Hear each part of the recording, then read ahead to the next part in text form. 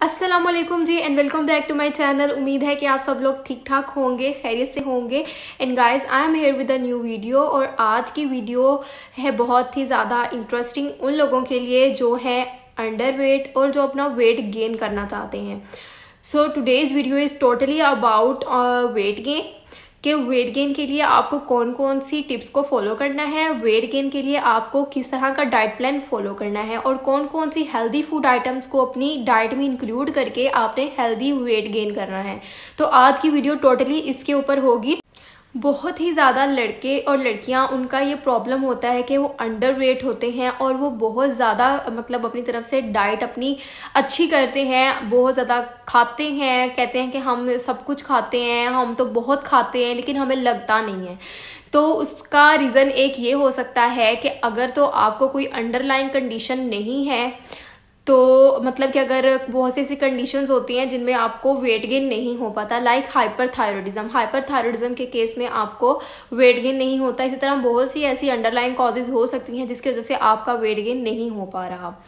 ठीक है, अगर इस तरह की कोई अंडरलाइन कॉज नहीं है तो सेकेंड रीज़न ये हो सकता है कि आप अपने प्रॉपर मील्स नहीं ले रहे, यानी ब्रेकफास्ट लंच एंड डिनर आप प्रॉपर टाइम के ऊपर अपने मील्स नहीं ले रहे।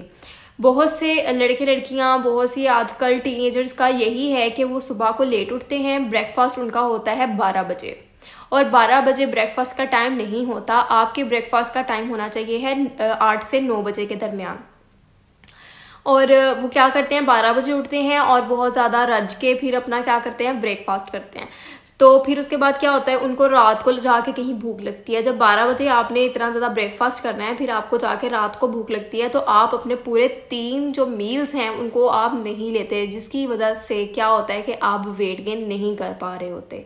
तो फ़र्स्ट टिप ये हुई कि आपने अपने तीनों मील्स लेने हैं, कोई एक भी मील अपना स्किप नहीं करना। और आपका जो ब्रेकफास्ट है, वो आठ से नौ बजे के दरमियान हो जाना चाहिए। आपका लंच जो है, वो एक से दो बजे के दरमियान हो जाना चाहिए। ए, लंच के बाद आपने बीच में कोई और स्नैक्स वगैरह भी लेने हैं फिर उसके बाद डिनर का टाइम आ जाना चाहिए तो डिनर का टाइम आपका सात से आठ बजे के दरमियान होना चाहिए। तो जी बात कर लेते हैं कि कौन कौन सी फ़ूड आइटम्स हैं कौन कौन सी ऐसी आ, खाने की चीज़ें हैं जो आपने अपने डाइट में इस्तेमाल करनी है वेट गेन के लिए। सो फ़र्स्ट थिंग जो है आपने ब्रेकफास्ट से पहले प्री ब्रेकफास्ट करना है। प्री ब्रेकफास्ट में आपने मिल्क शेक बनाना है, जिसमें आपने एक ग्लास दूध लेना है।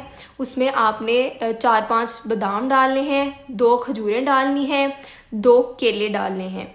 उसका आपने मिल्क शेक बना के वो प्री ब्रेकफास्ट के तौर पर इस्तेमाल करना है, यानी नाश्ते से पहले आपने वो वाला मिल्क शेक इस्तेमाल करना है। फिर उसके बाद आ जाता है आपका नाश्ता। नाश्ता भी आपने हेल्दी करना है, यानी आप पराठा इस्तेमाल कर लें नाश्ते में, उसके साथ आप दही इस्तेमाल कर लें, साथ सालन ले लें और साथ अंडा ले लें तो ये हो सकता है आपका नाश्ता। ये बहुत हेल्दी नाश्ता है। उसके बाद नाश्ते के बाद आप चाय पी लें। तो ये हो गया आपका नाश्ता। आप नाश्ते में या तो आप स्मूदी भी इस्तेमाल कर सकते हैं। स्मूदीज़ भी वेट गेन के लिए बहुत इफ़ेक्टिव होती हैं। स्मूदीज़ ऐसे होती हैं कि मैं एग्जांपल आपको दे देती हूँ। इसमें होता है कि आप मतलब एक कप दही ले उसमें आप कोई भी फ्रूट डाल दें जैसे कि केला काट के उसमें डाल दें साथ आप उसमें हनी डाल दें तो वो स्मूदी बन जाती है। तो ये भी आप इस्तेमाल कर सकते हैं। उसके अलावा आप आ, ड्राई फ्रूट्स के इस्तेमाल करें, जैसा कि पीनट्स हो गए, अखरोट हो गए। मतलब कि आपने अपनी डाइट में मिल्क शेक्स यानी आपने अपने डेयरी प्रोडक्ट्स का इस्तेमाल करना है।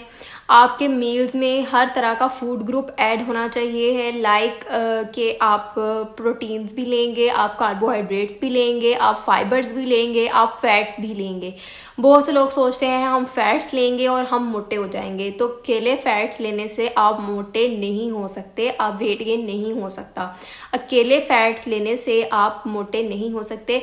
आपको साथ ज़रूरत है प्रोटीन की, साथ आपको कार्बोहाइड्रेट्स की, साथ आपको फाइबर्स की। आपको तमाम फ़ूड ग्रुप्स की ज़रूरत है वेट गेन करने के लिए।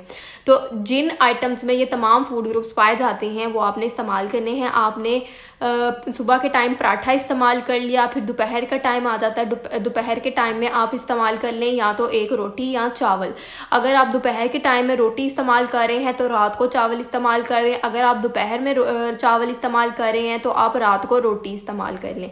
तो इस तरह से आप इस्तेमाल करें। साथ सुबह को एक गिलास मिल्क शेक का हो गया। आप डिनर में भी एक गिलास मिल्क शेक का इस्तेमाल कर सकते हैं। उसके अलावा आप अंजीर का इस्तेमाल करें। अंजीर वेट गेन के लिए बहुत ज़्यादा अच्छी होती है। जब दोपहर में आपने रोटी या चावल में से कोई चीज़ इस्तेमाल कर ली, उसके साथ आपने दोपहर में दही भी लेना है, साथ आपने सालन भी लेना है। सालन में आप कोशिश करें कि आप ज़्यादातर गोश्त खाएँ। उसके साथ साथ आप दालों का भी इस्तेमाल करें, आप सब्जियों का भी इस्तेमाल करें। और उसके बाद दिन में आपने दो से चार फ्रूट्स लाजमी खाने हैं। मतलब लंच के बाद आप दो दो तीन फ्रूट्स खा लें। अब आ जाता है डिनर का टाइम। तो डिनर का टाइम में आप रोटी ले लें। दोपहर को अगर आपने रोटी खा ली हुई है, रात को आपको रोटी खाने को दिल नहीं कर रहा तो आप ये कर लें कि आप रात को चावल खा लें। राइस खा लें। राइस की एक पूरी प्लेट भर कर ले लें। साथ आप कबाब ले लें। साथ आप रायता ले लें। साथ आप सैलड काट लें ज़्यादा सारा। वो आप डिनर में ले लें। वो बहुत ज़्यादा हेल्दी डिनर होगा। उसके अलावा आप डिनर के बाद फिर दोबारा एक मिल्क शेक का ग्लास पी सकते हैं बनाकर। मतलब ये कि आपने दिन में रोटी, चावल ब्राउन ब्रेड फ्रूट्स वेजिटेबल्स इन सब चीज़ों का इस्तेमाल करना है। इनमें तमाम वो फ़ूड ग्रुप्स होंगे जो आपको वेट गेन कराते हैं। इनमें कार्बोहाइड्रेट प्रोटीन्स फैट्स ये सब चीज़ें मौजूद हैं और ये हेल्दी वेट गेन कराती हैं। उसके अलावा दिन में आपने बादाम का वॉलनट्स का, इन चीज़ों का भी इस्तेमाल करना है। उसके अलावा स्मूदीज़ का इस्तेमाल करें, वो बहुत ज़्यादा वेट गेन कराती हैं। उसके अलावा आप वो फूड्स इस्तेमाल करें, जिनमें प्रोटीन बहुत ज़्यादा पाई जाती है like fish chicken mutton beef ये सब चीज़ें आप इस्तेमाल करें। फ़िश आपके लिए बहुत ज़्यादा अच्छी होती है, वो हेल्दी वेट गेन कराती है। उसके अलावा आप मटन इस्तेमाल करें, बीफ इस्तेमाल करें, ये भी हेल्दी वेट गेन कराते हैं। एग्स का इस्तेमाल करें, अंडे खाएँ, अंडे भी आपको हेल्दी वेट गेन कराते हैं। और उसके अलावा बहुत से लोगों को होता है कि हम मसल बिल्डिंग करें। तो मसल बिल्डिंग के लिए लाजमी है कि आप दिन में वर्कआउट लाजमी करेंगे। वर्कआउट इस तरह से कि आप वेट लिफ्टिंग करें। बहुत ज़्यादा एक्सट्रेनस वर्कआउट नहीं करना, आप करें वेट लिफ्टिंग वेट लिफ्टिंग से ये होगा कि आपके मसल्स बिल्ड होते हैं और वेट गेन होता है। तो ये एक्सरसाइजेज भी कुछ रिकमेंड की जाती हैं वेट गेन के लिए। और बहुत से लोगों का ये होता है कि वो वेट गेन के लिए जंक फ़ूड खाना शुरू कर देते हैं और बहुत ज़्यादा जंक फ़ूड और ऑयली फ़ूड का इस्तेमाल करते हैं, जो बहुत गलत है। आप वेट गेन करने का बिल्कुल भी मकसद ये नहीं होता कि आप जंक फ़ूड खाना स्टार्ट कर दें।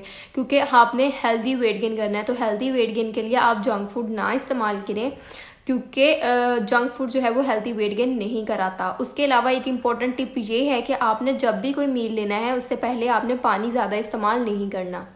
तो जी, ये थी तमाम टिप्स और डाइट प्लान जो कि आप फॉलो कर सकते हैं। ये थी तमाम हेल्दी फूड्स जो आप अपने वेट गेन में इस्तेमाल कर सकते हैं। तो अगर आपको वीडियो पसंद आए तो वीडियो को ज़रूर लाइक कर दीजिएगा। मेरे चैनल को सब्सक्राइब कर दीजिएगा और वीडियो को शेयर कर दीजिएगा। थैंक यू अल्लाह हाफिज़।